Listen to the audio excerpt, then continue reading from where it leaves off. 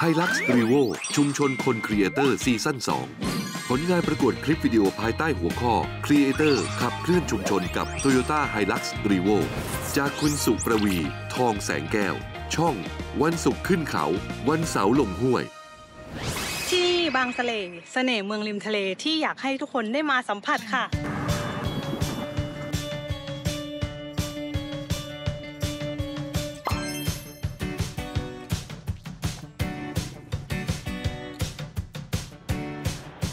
สมัยก่อนตอนที่ยังไม่มีหมู่บ้าน ที่ตรงนี้จะเรียกว่าสำเรจและจะมีบรรดาพวกโจรสลัดที่อาศัยอยู่ในบริเวณนี้นะคะ คอยดักปล้นเรือที่เดินทางผ่านมา และเมื่อปล้นได้ก็จะนำเรือเข้าฝั่งสำเรจมีการยึดทรัพย์เผาเรือทิ้ง คนเรือที่ถูกปล่อยตัว ก็ได้ตั้งรกรากอยู่ที่นี่ แล้วก็มีอาชีพประมงเป็นหลักสืบทอดมาถึงปัจจุบันค่ะ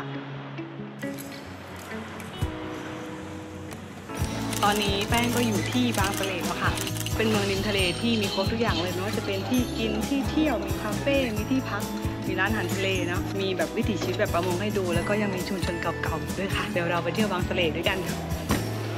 ไปได้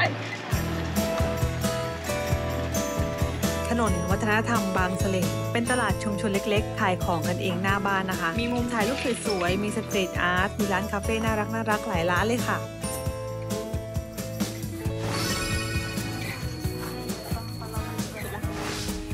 มีใครชอบกินปูม้าไหมคะ ชาวบ้านที่นี่จะมีการจัดตั้งธนาคารปูไข่ขึ้นมา เพื่อรณรงค์ให้ชาวประมง ไม่จับปูไข่นอกกระดอง จับมาได้ก็ให้นำมาฝากที่ธนาคารปูไข่ เพื่อทำการอนุบาลและเพาะพันธุ์ลูกปู จากนั้นก็ปล่อยลงสู่ทะเลค่ะ แล้วเราจะได้มีปูม้าไว้กินนานๆค่ะ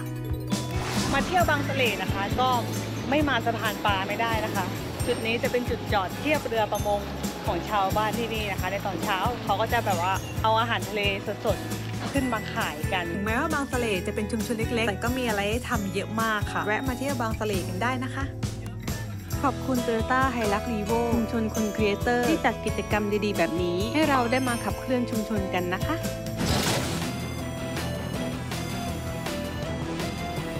เรื่องจริงผ่านจอ The Series